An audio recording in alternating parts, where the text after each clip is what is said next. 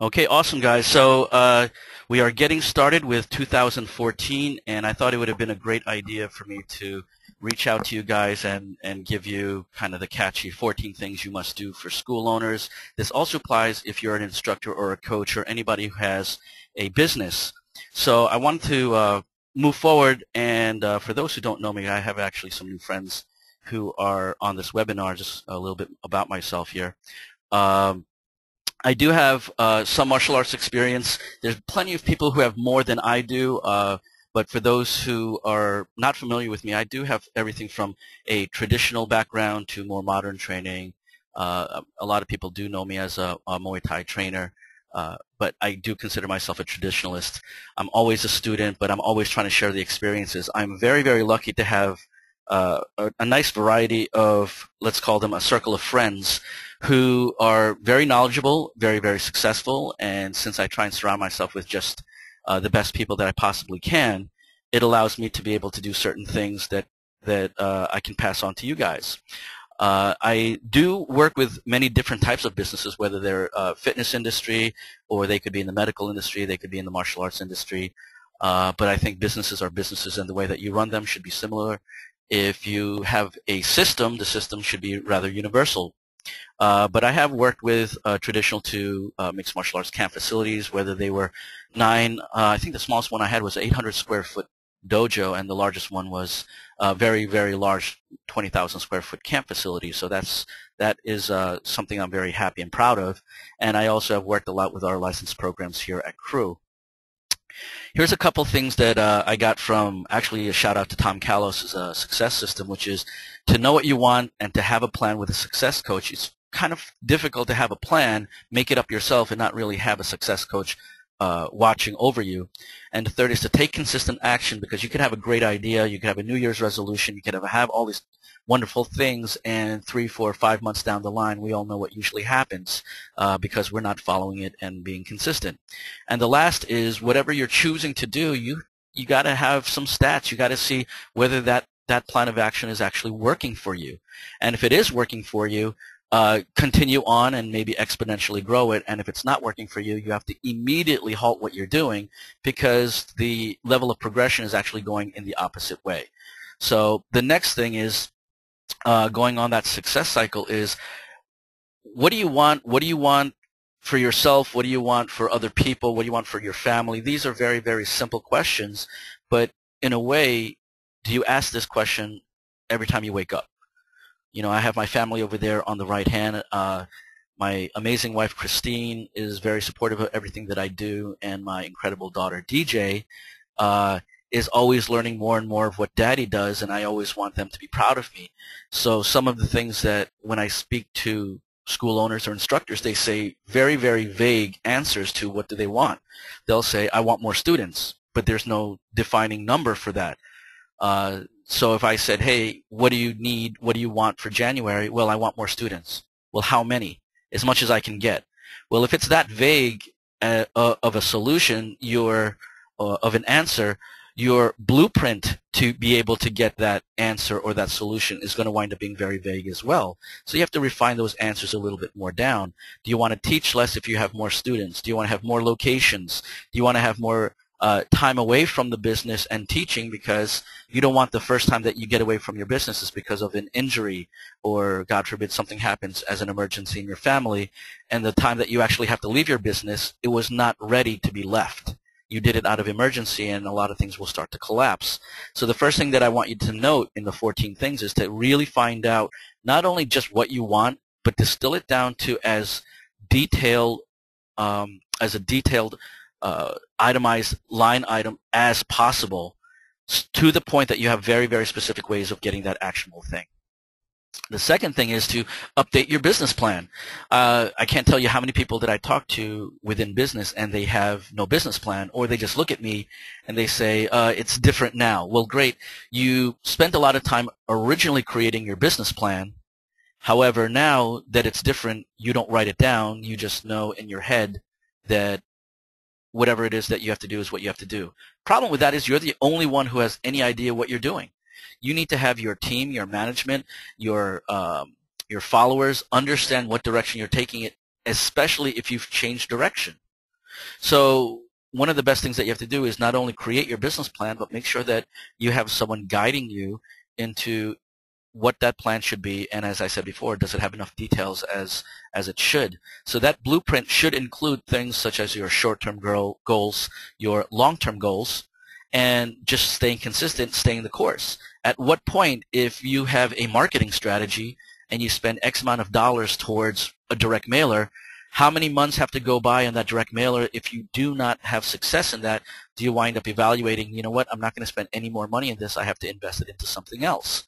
Or do you just do it for the heck of doing it and you wish that it would get better or you don't fine tune it? Maybe the, the direct mail works. It's just the offer you put on the direct mail piece wasn't compelling enough for people to uh, take action uh, same thing. Uh, uh, social media doesn't work for me. Well, maybe the social media pieces that you put out there um, are kind of the same thing over and over again, or it's not compelling enough for people to do anything.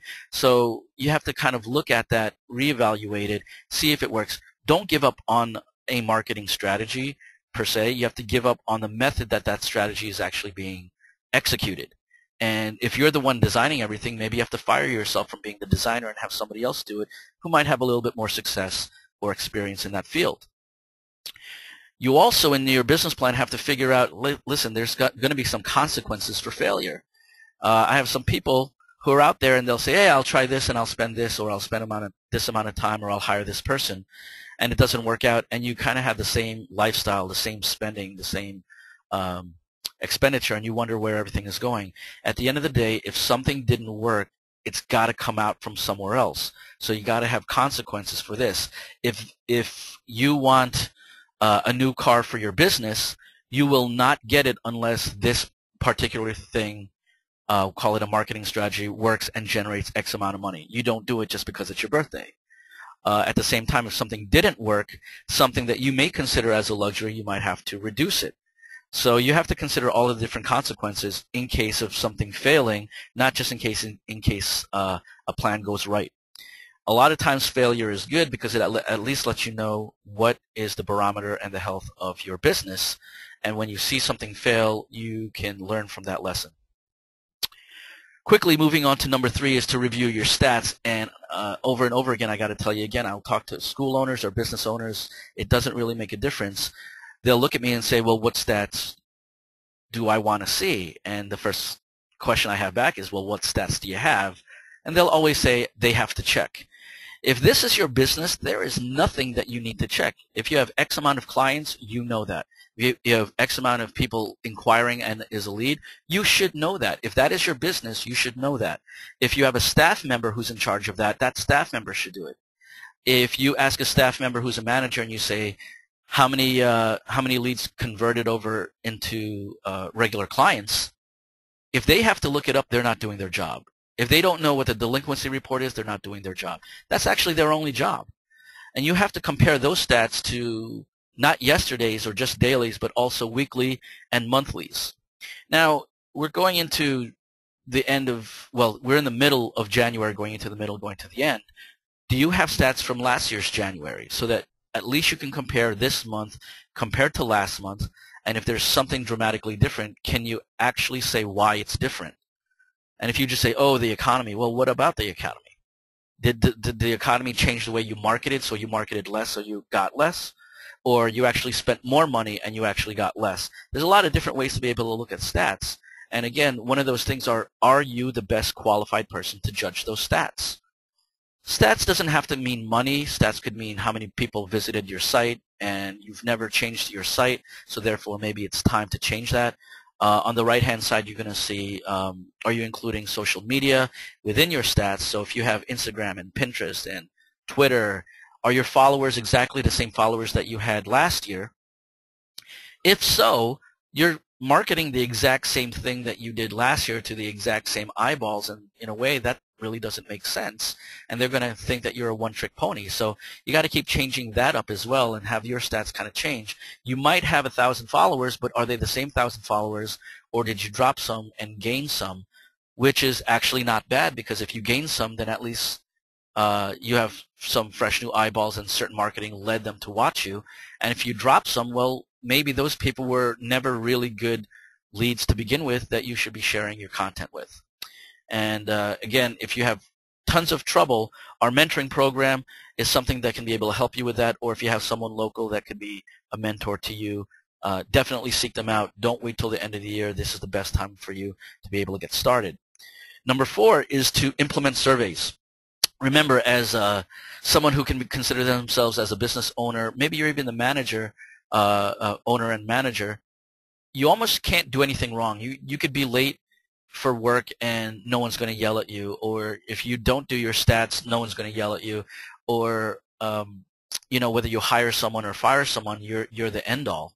But at the end of the day, when you give the surveys, it's to see how your business is, how your um, product is from other people's eyes. So who do you give the surveys to? Realistically, do you survey the staff? Do you survey um, former members? Uh, so technically, every time somebody doesn't continue with you, do you have a very strong survey to find out what is it that uh, compel them to quit? And even though they're going to quit, uh, what is it that they would recommend to other people? So that is a strong point. Or things that they would like to see changed so that you can constantly improve your product and service. And then once you get the surveys back, you pass them all out. It's great, and then they keep them in a folder. Realistically, how do you interpret all of these surveys to help you? You know, there's some pretty interesting shows out there like Secret Shoppers or Undercover Boss. I think there was one called Mystery Diner, and I, I kind of laugh because it is entertainment, but at the end of the day, we become so judgmental and smart, and we say, how could that owner let that happen? And uh, it's pretty simple. They never looked at it from a third party. They always looked at it as they're part of the conversation.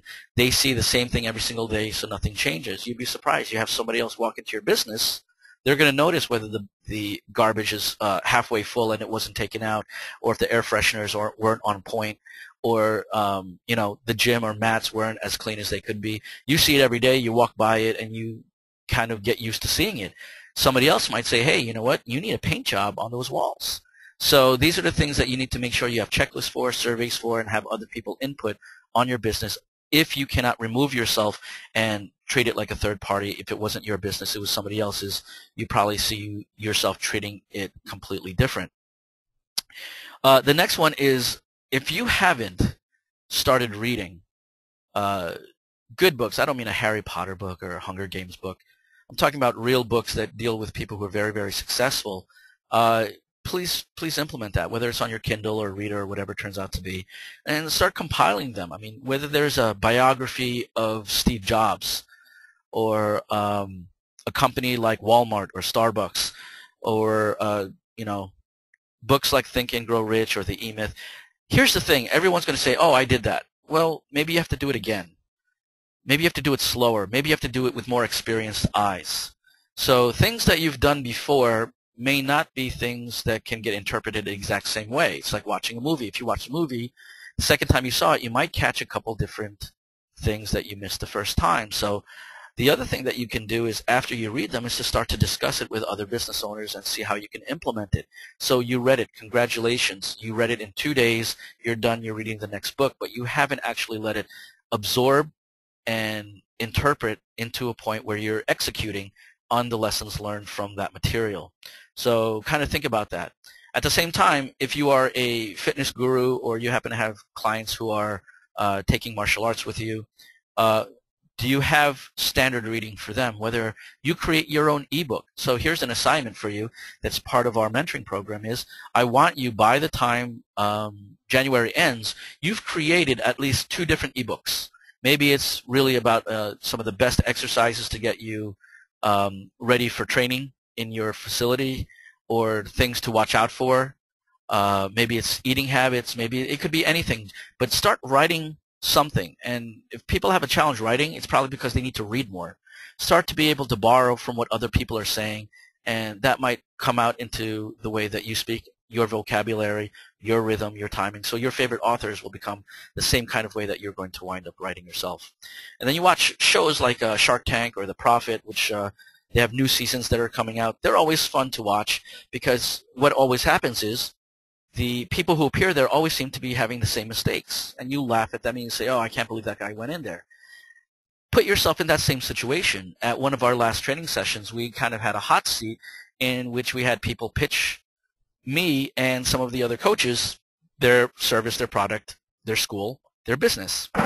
And there's all what what's always best is the first time that you talk about it, the second time, the third time, you're kind of stuttering. You're you're second guessing what you should say. The flow comes out different. But the more times that you do it, the better you get at it. And the better you get at it, the more believable you are. And if you can sound really believable about your product, at the end of the day, that means you know it up and down, back of your hand, and people will feel more confident in trusting you because you've done it before. If you have to talk about your product and you're really not sure how to describe it that well, or it's too vague and it doesn't really uh, uh, get the understanding on the other side, train it, craft it, fix it, and then do it again, do it again, do it again. Contact me if you want to pitch me. Uh, I'll be glad to set aside some time, and we'll be able to talk about your business and see, hey, some of the things that you mentioned, you didn't have to talk about, but th- this other thing, I think you should talk about that and make that a little bit more part of your mission statement, make that a little bit more of what your vision is, and get the other side really, really excited. The next thing in the 14 things for 2014 is get back into training yourself. Uh, start fresh. It's January. I hate to do the resolution thing, but that has nothing to do with it. It's really more like you got to just get in there. Whether you're a martial artist and you do traditional uh, karate, you want to go in there and start doing, you know, weapons training or grappling training or Muay Thai training or just, um, you know, do some lifting. Change it up. Whether it's something similar of what you've always done, but now you got to go back and maybe have a different instructor giving you um, some coaching, or you do something that you've never done before. You were never a runner. You were never a, a strength and conditioning guy. Uh, so now you want to do functional training. You may want to just do that just to kickstart and actually uh, create some passion back in yourself. And then when you start training with your students, the passion is going to be flowing through you and into the students, and all of a sudden they get excited. And when students are excited, the classes are really exciting. Uh, so, you know, if you want to mix up a little bit of your of, your own regimen, just contact me for dates. I'll give you my contact information. Um, we have uh, KRU Muay Thai coach training that's coming up. We have a Muay Thai retreat weekend, which is for anybody. For those that want to add grappling, let us know. Uh, we have training dates for curriculum for that, uh, as well as a great new boxing program uh, that we're launching this year as well, uh, actually in Atlantic City. Going further on number six, which is uh, part of the training, is continuing education. And if that continuing education wasn't physical, like I just mentioned, that continuing education might be on the business and entrepreneur side. Uh, many people have gone to college, and maybe their college uh, training had nothing to do with a master's in business administration, uh, it might be some, something completely different. So you may want to either get refresher courses or just do some real-world training. Now, the thing with real-world training is you might have to do five or ten years worth of bad stuff to figure out how to do all the good stuff. So again, this is where a mentor uh, or working with other people and collaborating comes in handy because our learning curve uh, is just so much better. Uh, the thing that most people hate uh, especially uh, people who've been around the block here, is the technology training. If they're not used to software, if they're not using social media or implementing it, at the end of the day, you can delegate that out. But don't ignore the fact that you need it. You may not be the most um, uh, advisable person on that for all of your staff. There could be somebody else who can be in charge of social media, but you have to at least know that it's there what one will be best for you, how you should be using it, how you should be regulating it. Because the other thing that you have to make sure is if you let staff members handle social media, you have to make sure that their behavior and etiquette in social media is top-notch according to your standards as well. So please do that as further your uh, continuing education. Don't be the guy that says, I've been training for 40 years in martial arts, but it really was, you know, after their first degree, they just keep repeating themselves. They haven't really tried to grow from there. And uh, if that is the case, a lot of students can see through you and they know that you're stopping. So it's very difficult right now in the adult industry. Uh, it's not about the sales and the brochures and the artwork to be able to get and keep adults. It's about actually having some substance. And if they see what they like, then they're willing to stay with you and pay for it. If they don't, then they're going to leave. Now, something else is there's some people who live and die for years and years with the same old thing. So, for example, if you're a martial arts school and you cater to a lot of uh, I don't know five, seven, ten year old kids, and then you do a lot of birthday parties as your uh, additional income, you may want to start looking at different things. You don't want the fact that people aren't spending more on birthday parties and staying home and being a little bit more frugal, and all of a sudden you say, well, I just wish they did birthday parties. No, you got to have a little bit more eggs in your basket. So whether it's changing up the times where there's morning and lunchtime classes, whether you have more personal training sessions, a lot of martial arts schools don't offer them at well uh, at all. So you may want to train a secondary staff to actually just worry about personal training sessions. That doesn't mean the owner has to do it. That means somebody has to start doing it. Uh, have some asymmetrical programs. What I mean by asymmetrical programs is if you already have a traditional karate program, you may want to do something like a fitness kickboxing program. Or if you're a jiu-jitsu school, you may want to add a Muay Thai program. You don't want to add a karate program and from that karate program add a, add a similar looking self-defense program. You want to make sure that you have a much wider net casting out so that people don't just think that you're a one-trick pony. It's like, oh, that's the school that does all the birthday parties. No, that's you'll wonder why you never get adults.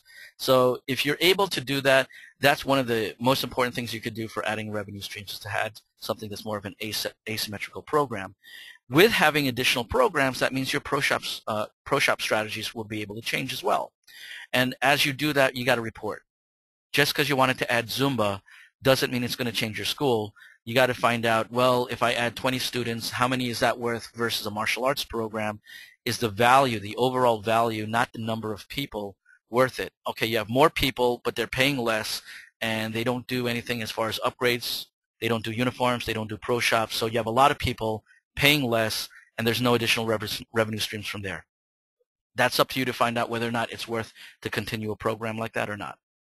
Other things that you could do, and it's very simple for additional revenue streams, is it might not have to do with your actual school. You don't have two mats, so if you're rocking and rolling, you can't have too many different programs. But you could actually resell other programs. There are things such as you know, the software, there are training programs, there are licenses, there are things in the martial arts, and just by using your contacts, you'll be able to make commissions because you're recommending programs that you use within your school and have other like-minded people using it as well.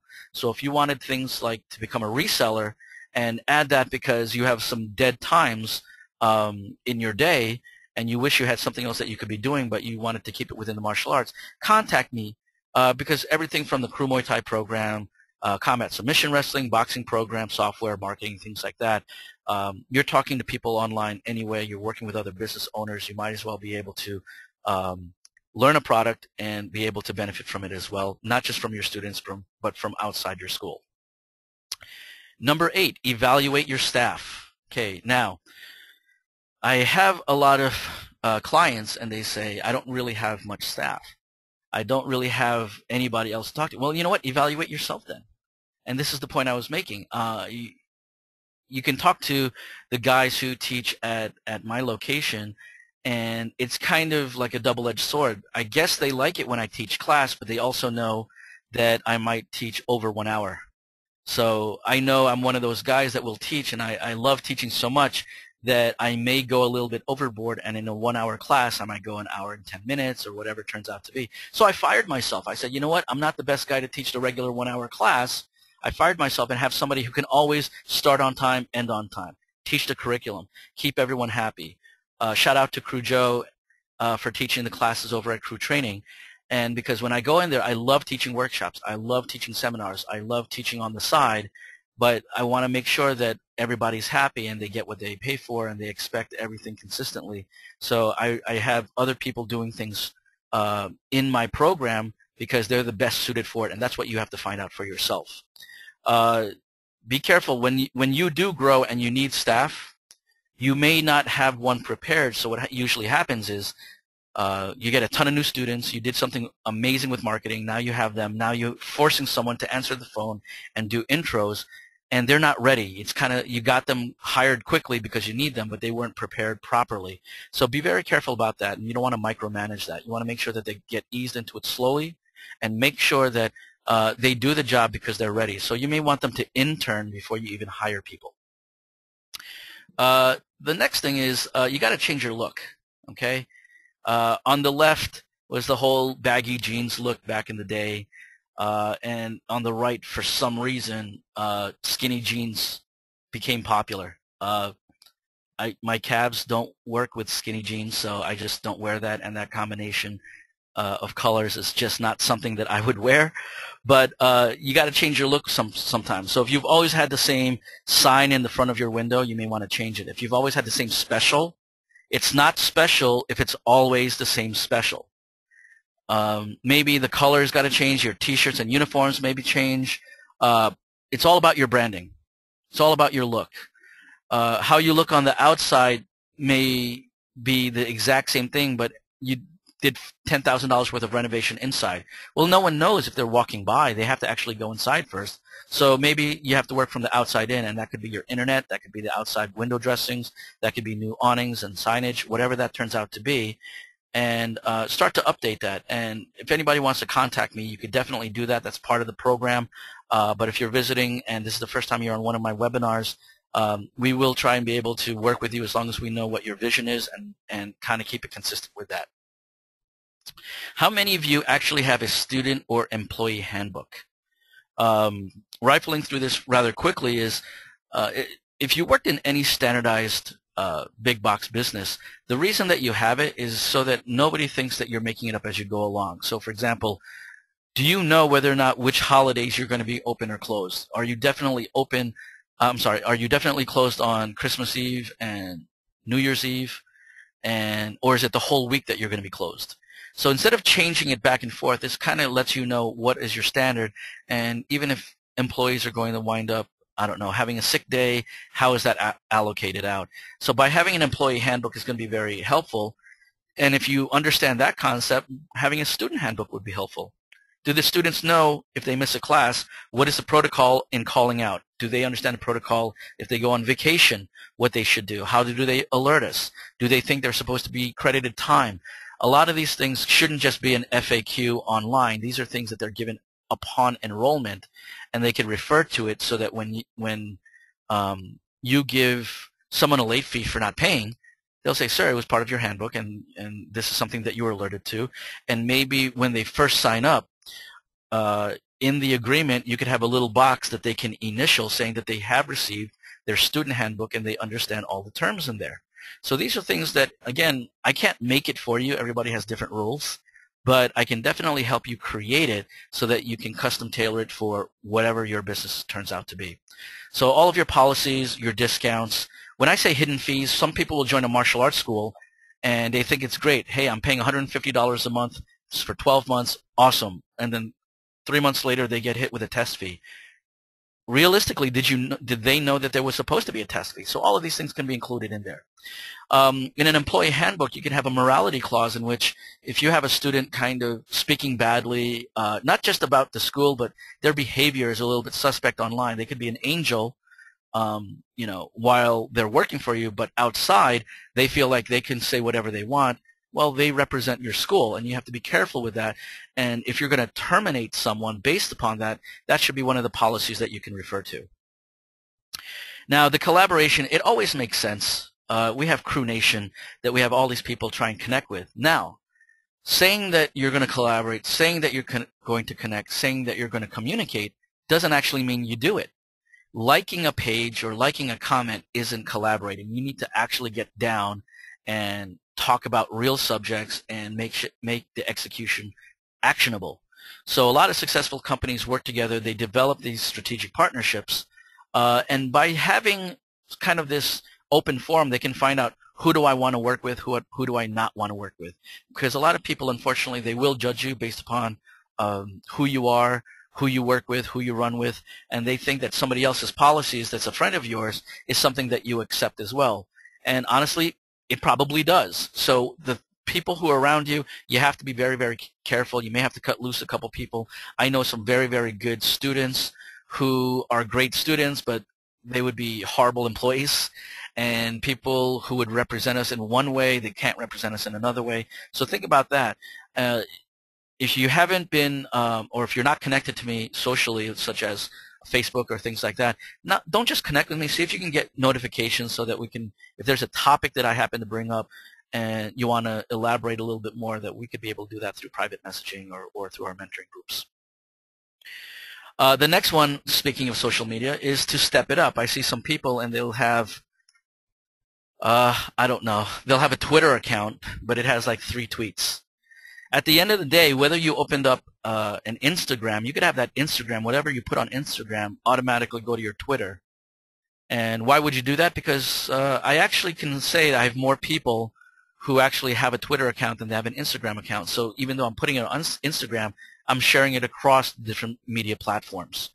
So with that plug, uh, if you don't have an Instagram, grab one. It actually works pretty well. I have a conversation um, with a, a, very, very good trainer out there, um, Darren Goodall. I'm going to shout you out. And he's really done well with his clients actually just by using uh, his Instagram and proper use of hashtags and meeting more people. So please step that up. Add me uh, on Instagram. It's KRU Ace Ramirez. Make sure that you uh, add me, and uh, I'll follow you back. Now, here's the other thing. You could have all the social media platforms in the world. The one thing you have to do is assume the role that you want everybody to have. So if you're an expert at martial arts, can you not have 90% of your stuff uh, of your dog on Instagram or, you know, like, oh, look at the bunny. He's jumping. It's very cute.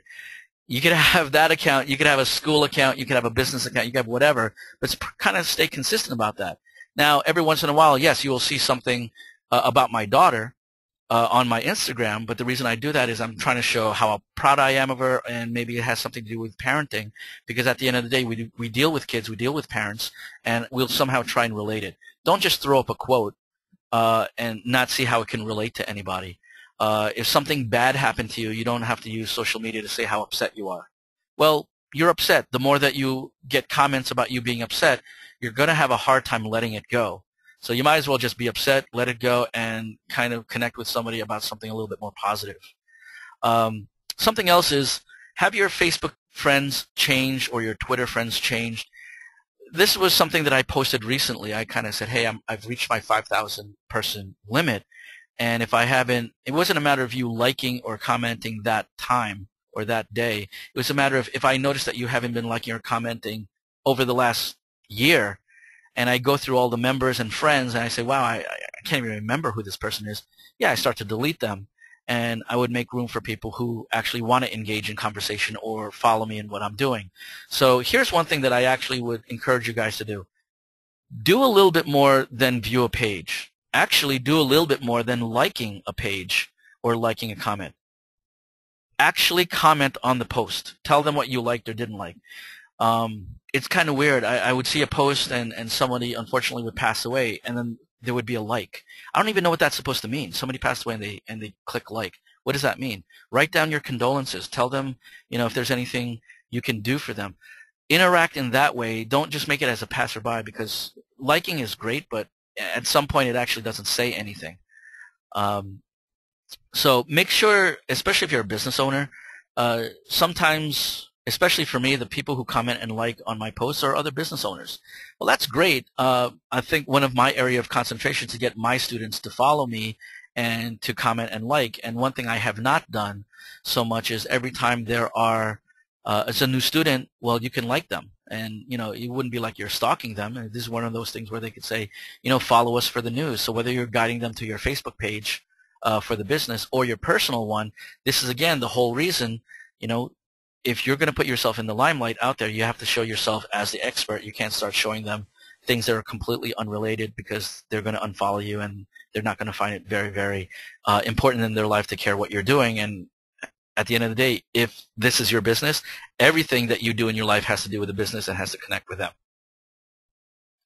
Now, examining other businesses, uh, some people can call it um, checking out the competition, but not everything is competition. You could actually just go into, you know, to the mall and see how a uh, retail store sets up their retail displays. And you could say, wow, that's a great looking display, the way they did the mannequin, the way they showed their t-shirts, this and that. I should put that in my pro shop. So one thing that you can do is just to be able to get inspired. You know, go to other places, go to other businesses, just get inspired. It has nothing to do with stealing anything, but in a way that's flattery as well. Now it goes. Now you can go down to, hey, you know, the martial arts school down the block. Well, what is examining that? Well, what is their specials? What do they get for the specials? It's not about the prices. It's about what the benefits are. So you could be able to see um, uh, what they're doing, model what you like, and the things that you don't like, uh, I'm sorry, the things that you do like, start going to other people and saying if they like it too, because just because you like it doesn't mean other people will like it. Doing a flying sidekick to someone's head over a car might seem cool to some people at one point in time, but to others it's just not a, it's not a big deal. Um, so we're not the experts in that. So we have to take our personality, our take our vision, and then bring that to other people and see whether or not they would be buying into that as well. So you have to think with the end in mind. I'll give you an example. You know, uh, as a parallel to martial arts or fitness schools, things like that, who would have figured going to a dance school would be a competitor? Well, at the end of the day, they teach group lessons, they teach private lessons. Uh, it is a service. Uh, there could be monthly reoccurring fees. And so therefore, and, and, for kids, you know, they, they technically have uniforms. They have certain things that they buy for their recitals. So I consider that somewhat of a parallel to us and, and to see what they do and what they charge could either show us as being too expensive because we don't offer as much as they do, or we could say we're a great deal, or maybe we're not charging enough because we're giving them way more benefits than what they're doing. So that's that's also another barometer to see how you're doing within your business. Uh, number 14, obviously, get a mentor. Uh, my definition for a mentor is really finding somebody who is at a place where you want to be, but used to be where you are right now, right? You can't really, there's certain people you just can't relate to because they have nothing to do with you. Uh, it doesn't, they don't necessarily always have to be in the same business to be a mentor, but they have to realistically have the similar starts and understand where you want to go and be realistic in the timeline. So if one of your mentors always had money and they always had um, financing for every project they wanted to do and they always had a team and you're like, but I don't have money and I don't have a team, um, it might be a little bit more difficult. So you may want to find someone a little bit closer to where you're at. So to be a Ronin is a masterless warrior, and to be separate and independent, sometimes that's why you opened up your business. But at the end of the day, that's not what great businesses do. Uh, they really have to collaborate. They have to talk to other CEOs. They have to be able to talk to other managers and see what they're doing and, and switch that out. So that's really, really important for you to be able to consider. Now, if you've never done it before, you probably heard it before. I'm not here to pitch anything, uh, although I have talked about some of the things that, that I've worked with uh, with my coaches right now. But something really brand new, and it's actually getting started right now, is there is an Elite Alliance, and it's not just me. There's a great team involved. Uh, there's myself, and there's Shihan Mike Vaca, uh, who runs multi-schools. We have Professor Ricardo Almeida, who's an amazing uh, leader uh, and, and, and, specialist in what he does in his jiu-jitsu world. And we also have Sensei Nick Doherty, who's done amazing things with Mr. Marketer and things with Champions Way, everything from SEO, SMO, all the way down to social media. He's basically a ninja when it goes down to that. Um, the reason I'm showing you this is uh, we, we have a lot of people involved in that. I just want you to understand the difference between what mastermind groups are and what mentoring groups are. Um, I'm going to actually give you a couple tips after this, so don't think that I'm pitching you anything right now. I'm giving you some tips after this, but there are four live meetings. That's all there are. Four meetings. You have to show up. It's $500 a month, not $500 for four meetings. It's $500 a month, 12 months for these four meetings, and you have to be pre-qualified. So if you have, you know, 50 clients, one location, and you're the only staff member, don't join this. This is probably not best for you what you might want to consider if you have a more startup business or you don't have a business or you want to grow the business is you could do a KRU mentoring program. And out of the 14 things you must do in 2014 we go into in-depth not only that but many many more things as well. And it is less than half the cost than the elite program. So it's supposed to be $250 a month and it is $250 a month but for the webinar there's going to be more of a discount uh, a webinar discount here and you'll be getting social media training. You're going to get de developing operational calendars, which is really important that people need. Business entity protection, finance strategies, statistic reporting, and weekly assignments with accountability partners. So let me leave that alone. I'm just going to pass. I just want to let you know those existed. I, what I want to do right now is go into some mentoring um, tips and questions that we would normally do as part of the group. So hopefully you can jump on this right now. Um, think about this. Mentoring question is what kind of business entity are you? Whether you're in the fitness, medical, martial arts, whatever, you're either a sole proprietor, uh, an LLC, or a corporation. So if you are a corporation, which one? Are you an S or a C? And when you did that, do you even know the difference of why you did an LLC versus a corporation versus a sole proprietorship? Now, can, can it be safe to say uh, that most of the people here are not sole proprietors. And I'll tell you why. Sole proprietors don't have a tax ID number. Sole proprietors actually use as your business ID your social security number. With that being said, that means, God forbid something ever happens. You're holding pads, somebody gets hurt. They're holding pads, they get hurt. They're doing push-ups, they get hurt. They will go after you personally and all of your personal assets. Uh, so I spoke to someone recently and I said, well, of course you're not a sole proprietorship, right? And I, am I'm, I'm thinking, of course they're not. And they actually said, no, we are. And I said, how, you know, that's a little bit risky. Uh, you shouldn't do that. So let's say that's a very, very basic question. Let me ask you this. You got to convert immediately, by the way, if you're a sole proprietor, but at least know the difference between the LLC and the corporations and why you're going to do that. So this follows into my second question. If you have one business, for example, you, you have a martial arts school, so you have one business should you open one legal business entity? So like you said, you know, okay, I have a business and I've converted it into an LLC. The question that I have to ask you is, are you interested in protecting your personal assets? Everybody please type yes. Should be amazing. That's, that's, that's a no-brainer, sir. You know, this is not compelling information. I don't know what you're talking about. All right, so here's my next answer for that, what kind of business do you have? How many people out there are proud of themselves if you answered you had one business entity, such as an LLC for your one business or martial arts location? Okay, just open up this box a little bit. Boom. Just seeing some of these answers. Cool.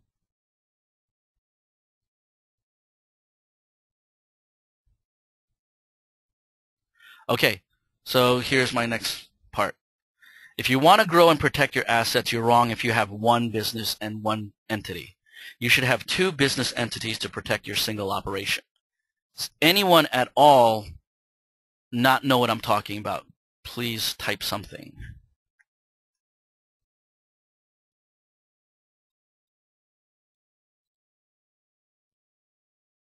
Hmm, okay, great.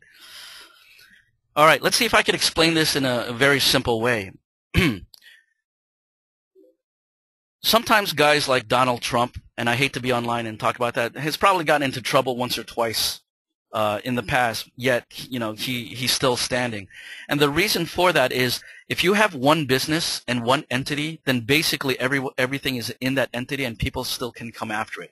Not only is it expensive uh, to defend it, even if you're right. Can we agree that even if you are right, someone can still sue you, and it would cost you an arm and a leg just to say throw that out. It's it's not even important. So what happens is you want to have one entity that op that has all of your operational stuff. So you have you collect all of your tuition. It goes into your first entity, and let's say your operating expenses are ten thousand dollars a month but you happen to generate $20,000 a month. Well, that would be cool. You make you make that much profit. Excellent. Do you you don't want to keep all of your net income in that one company. What you want to do is you have the one company that have to handle all of your operationals. The money comes funneling in into company number 1. Now, you pay your rent, you pay your utilities, you pay your taxes, you pay um, your employees, the whole nine and you know that it's ten thousand dollars, but you you you bill them uh, twenty thousand dollars. You have this extra ten thousand dollars. That now goes into company number two, which is technically a holding company.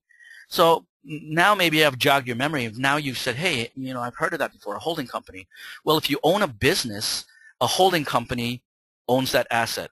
All the net income, that money goes into that business. Maybe you have tons and tons of uh, equipment you have boxing ring, you have weights, you have this. Well, if someone sues you, they can take that equipment from you. Well, no, that equipment is owned by this other holding company. So the first company is almost a pass-through. So the first company is almost like a plane. Uh, the money comes in, the plane touches down, the wheels touch the ground, and then it takes off again. So that money comes in and it just simply bounces out to wherever it needs to go maybe 80% of that will go to your bills and the other 20% of it goes to your holding company. Does that make sense? If, if I lost anybody, let me know, but please uh, let get some interaction here and let me know that people are understanding this. This is very important. So two entities for one business. So if you have two different businesses, well, same thing. Uh, the whole point is to the the holding company is to protect it, and the other one is kind of like what's in the public eye. This is how most people will be able to protect it. Now, what does that actually mean? Well, don't lawyers know that you're just putting it in one company and the other? Yes, they do. And if they find out that you're smart enough to do it, they don't even bother suing you because they know you're protected. So when you have one company, they will go after you. Why? Because they know where everything is. If you have two companies, they say, oh, you know what? They have the structure down. They've protected themselves. It's going to cost them way more money to try and go after you. And at the end of the day, they're still not going to get anything. So what do they do? They don't even bother. So this may help you um, somewhere down the line, God forbid, something like that has, you know, may happen. Why am I talking about this? Well, guess what happened? Something bad happened one time at a school. So it didn't involve me. It involved a staff member. So, of course, it's my liability. And the way I was structured, I was wide open to get hurt. Good thing nothing happened. But I didn't just wipe my eyebrow and say, good thing nothing happened. I kind of tried to get the, you know, the bulletproof vest on and try and find out and educate myself. And trust me, learning this the long way, the hard way, the more expensive way, I'm trying to give you that some of these details way before it may ever happen to you. So hopefully just this alone might be something that uh, was helpful for you today. Uh, let's go into another one. Let's go into a mentor question. Uh, how many people have good business credit? Let's let's get some answers here, some interaction. Or even better, how many people have a business credit card? And if you do, write down the kind of business credit card. Don't worry, I won't tell anybody what it is. You're not giving me your account number unless you want to, but you can just put some of that down.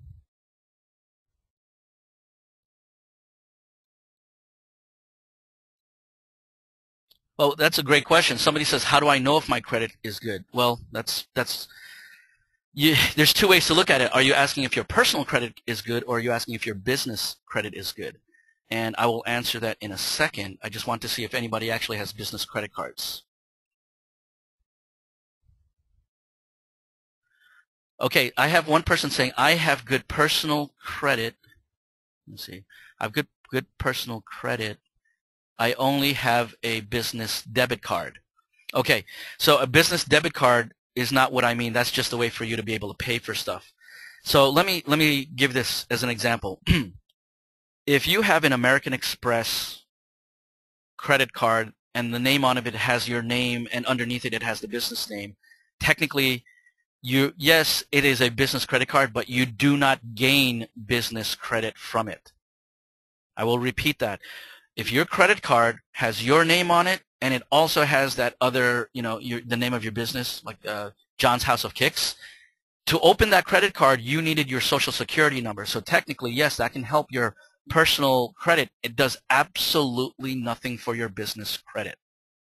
Okay, so you could have a business credit card with American Express for 10 for the last 10 years, didn't do a darn thing for you. Uh, if you want to see, you, one thing that you have to do, and I'm going to go into the next page, one thing that you have to do um, is go to Dun and Bradstreet online, D-U-N Bradstreet. Uh, I think the next chart actually has it here. Do this now. Get a, a Dun and Bradstreet account and that is specifically for businesses. And the second you open that up, it starts filtering all the different things that happen to do with your business and interaction with vendors and things like that. Right now, uh, actually, I, I tested this out. I have a local bank called PNC Bank, and I went up to them and I said, "Do you do a business credit card?" They're actually they, not only did they, uh, they they have a business credit card, but nothing secured or anything else like that. And the and the reason I asked them was to find out whether or not it actually does anything for business credit.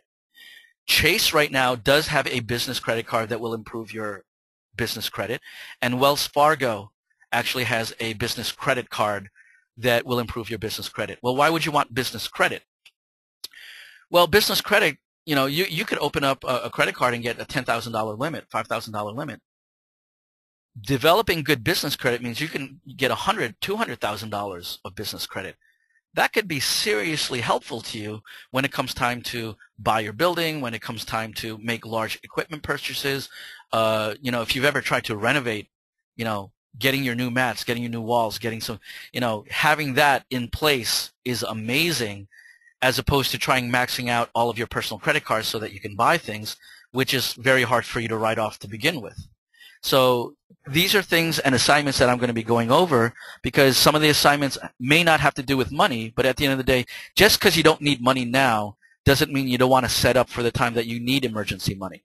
So you almost want to set your portfolio in a sense that if 12 months from now you said, I really need to dip into something because uh, certain months were really bad and you talk about the economy, well, now you have something that you could lean on because it was already set up properly. If you've had a, a, a you've had a business for 10 years but did absolutely nothing to build your business credit and you're just using uh, a debit card, you're not giving yourself any kind of reward points here, right? It's just like operating out of cash. You need other people, you need other lenders to know that because big big banks want to do that. You may want to pitch someone one day and that person really wants to see your records and he wants to know how responsible for you are. So you don't want to act like a teenager where they're only using whatever they have in the bank account. They want to know how responsible you are with this kind of money as well. Now, I'm not going out there saying rack up credit card bills. I'm just saying for the people who don't know how to be able to get um, financial uh, assistance, you have to start setting it up early. Otherwise, you're just going to wind up waiting. And uh, if you've already been in business, there's no point in waiting for that. Uh, so, for example, you can get a secured um, uh, you can get a secured business card and just say, hey, I'm putting a couple thousand dollars in. A secured card is you're actually putting money in. And where did that money come from? Hey, you know, that second holding company where it's keeping all that net money. Well, if the money was always there for you to spend, we all know that you would spend it. Well, instead of spending it, you take that net money and put it into a secured card. You hang out a little bit, and after six months, watch what happens. You know, you have two, three, five thousand dollars in that account.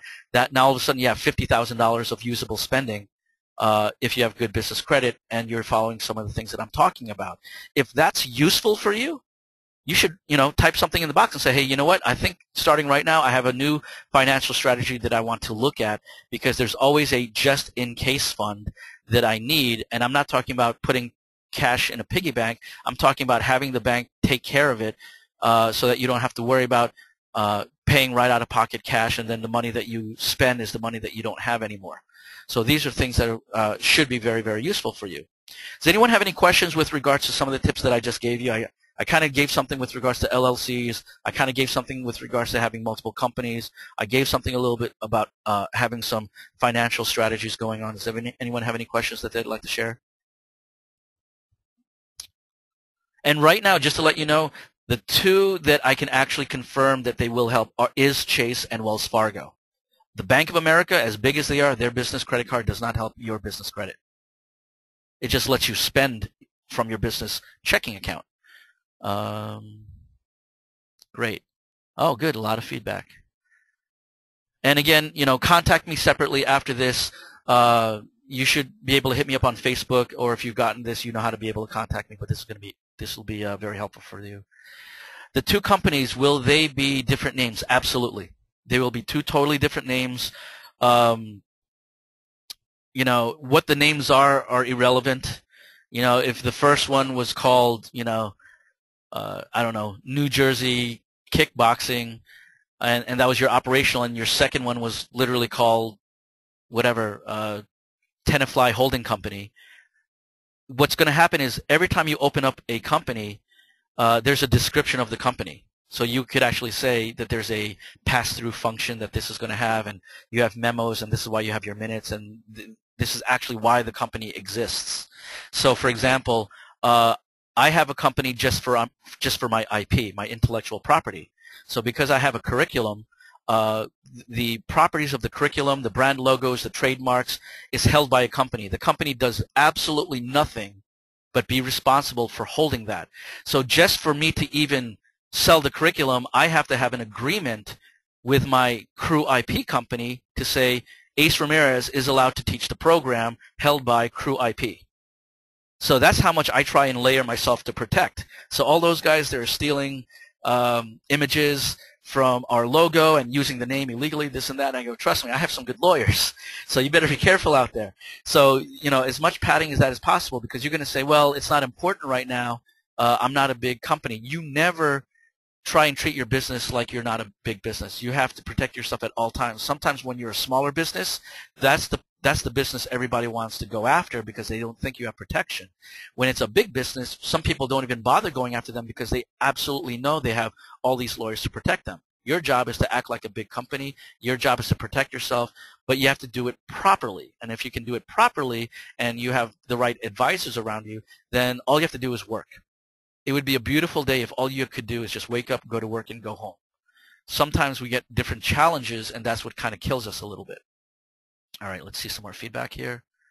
Excellent. Would you advertise the second name? No. Not at all. The, actually, you don't even really advertise the first name because there's a lot of companies, their DBA isn't the name of their real business, right? The, the, like, for example, you could actually be called Tenafly Martial Arts LLC, but the name on the wall says KRU Training. So KRU Training could be the DBA, and your LLC could be named something completely different. There's no reason to advertise it. It's really more of an accounting thing. And because of that accounting thing, you actually have this legal shelter, uh, legal uh, layer of protection that exists. So it's accounting because it's a matter of your money or your assets go somewhere, so you tell your accountant about it. But technically, your your legal counsel is the one that had set it up for you. Don't don't you? You could definitely set up things online, and they're not that hard. But if you're new at it, you you definitely want to have someone kind of like I said, it's a mentor. But in the mentorship, in this sense, is actual legal counsel because you want to make sure it works properly in your state. And here's the other thing: you may not want to have your legal entity created in your state if you're in California, you may not want your company be, to be a California company.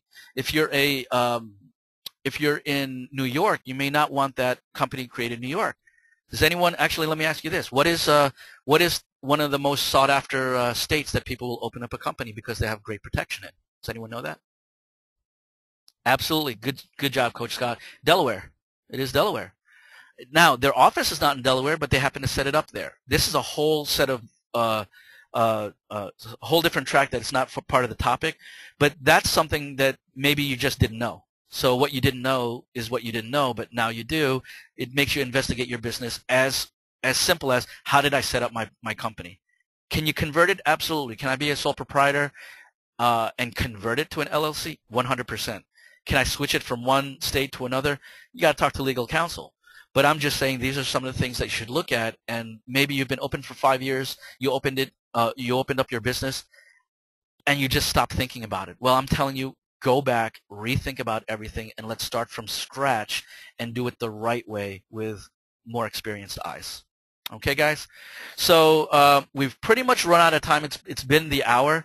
I've given you uh, some 14 tips to do in 2014, but at the same time, I've given you an idea of what we're going to be doing in our mentoring webinars. So these are some of the topics that we would be going after. And if you're not in the mentoring group, there are certain things that we can be able to do uh, that I consider as business basics. This has nothing to do with martial arts. This has nothing to do with fitness. It has nothing to do with Muay Thai. It's just about running a business properly. So if you know somebody else, they could be, they could own a bakery.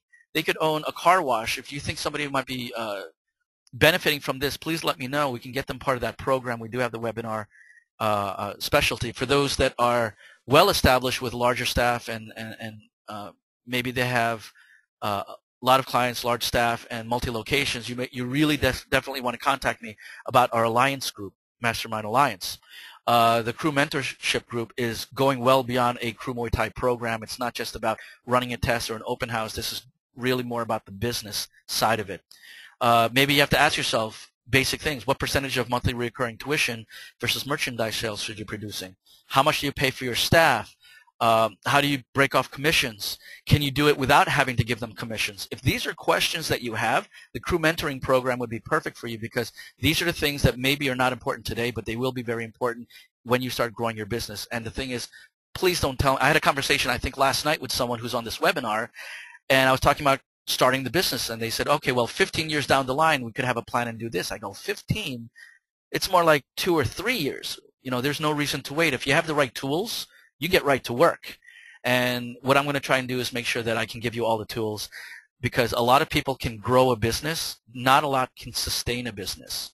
Uh, everybody loves Apple. Everybody loves iPod. Well, right now they're just saying how, how tired uh, Apple is. Some people might hate me for this, but it's kind of true. They're like, it's kind of the same thing. Samsung is starting to kick their butt right now. So they've had, you know, Microsoft was hot, and then Apple became hot, and then all of a sudden Samsung's coming in with different software and technology. So there's a certain way you could be king of the hill, but you're not king of the hill because you're king of the hill. You're king of the hill because you're anticipating somebody's ready to kick your butt. Um, you could be champion for so long, and there's a guy waiting the wings, ready to be hungry, because they, they were doing some of these tips too. They were checking out the competition, they and you were their competition. They were seeing what you were lacking, and then they wound up putting it into their their product or their service, and they're right on the heels of, of passing you. So um, again, monthly webinars, weekly assignments, financial strategies, important operational protocol, pitching for money. How many people out there could use more money for their business? Honestly, I was in front of Daymond John uh, from uh, Shark Tank uh, a couple weeks ago. Uh, worked with his team. He's my mentor. I'm, you know, he he's someone who shows me what I should be doing in the martial arts business. He was known in the garment business, but he's not just in the garment business. He's a true entrepreneur. He's an East Coast, uh, for the most part, he's a New York guy, so he's kind of an East Coast guy, very relatable to me. I like him. We've had great discussions. I work with his staff, and I have very cool things coming up for KRU for 2014 and I want to be able to pass some of those things along to you. And I think that it's a great time and, and great effort to do it. Uh, there are academies that are out there, and you know his academy was fifteen hundred bucks just to show up for a couple hours, and then that wasn't anything to continue on. That was just to be able to show up and, and get some information. Hopefully, our program here is much more affordable for you, and uh, we're going to custom tailor it for you. So the webinar special is one ninety nine a month for that. You could do a single payment for nineteen ninety seven, so you're saving almost four hundred dollars hate to sound like I'm pitching, but you know some people have been asking me about this. And the last part is you heard about the mastermind. The mastermind is $500 for four sessions. You get four live tra training sessions. It's $500 a month, so that's $6,000 for a year. Or each session is $1,500 to come in for that live training. Well, I'll tell you what, for those that are doing their one payment of 1997, not only going to save your 391, but we're going to give you one mastermind live training meeting that you're able to attend as well. So that 1997, you're almost getting all of that for free in addition to just joining for the mentoring program. So what's happening next, guys? Um, at the end of January, just a couple weeks from now, uh, 24th to 26th, on Friday, I am having KRU Muay training session. Uh, if you're not a member of KRU, contact me. You could train with us for the day. Uh, there's going to be business training sessions and, and on-hands workshops for three days. Contact me. It's about $45 for the for the week pass. There's tournaments, there's fights, there's an awards banquet, all sorts of stuff that are going on. Uh, you can contact us at the phone number at below, and below is our staff email. You can contact Coach Gian at KRU Muay Thai HQ at gmail. And I don't have a date for the retreat. I kind of posted online um, with regards to, the, by the way, the KRU retreat is for anybody. It's not curriculum. Students can come. Anybody can come. Uh, we are trying to nail down whether we are looking at something like at the Poconos or at Florida or something affordable where we could bring you know family members with. So go to my wall. Actually, if if anybody's interested in doing a training retreat for Muay Thai, uh, it's just to have fun, guys. Uh, go up to my wall and start to you know post on my wall and think of start telling me where you would like to show up you know, uh, maybe it's California, maybe it's Hawaii, maybe it's on a cruise ship. Uh, start putting some stuff down there, and we'll start compiling. I'll get dates as soon as possible. So if you say, "Hey, listen, I'd love to be able to do it in Ju- uh, July," uh, once I know when everybody can do it, I'd love to be able to do it. Also, go to my wall on Facebook and post what you thought of this. Uh, you know, the tips that I've been giving you today. If it was helpful or not, that gives me a lot of feedback and lets me know that I can do some more of these. But I'm, I'm starting next week. I'm going to have that mentoring webinar uh, with a lot more detail and weekly assignments too. Let's see. Let's see. Will there be KRU curriculum? Yes, Coach Dio. Uh, we're going to have them almost every quarter, if not every three months. We're having something. I've I have stuff scheduled in Texas. I have stuff scheduled in Florida. I'm seeing if I can schedule something in California. If not California, it might be on the west side of Canada. And I'm also looking to be in the UK as well as Australia. Um, but as far as having New Jersey training, yes, we're going to have New Jersey training again most likely we're going to have something in March. If if it's not in January, we're going to try and do something in March, and maybe every two three months we're going to have something as well. Let's see. Awesome. Which part of Texas? San Antonio. San Antonio. I believe San Antonio is going to be in July. So we'll see.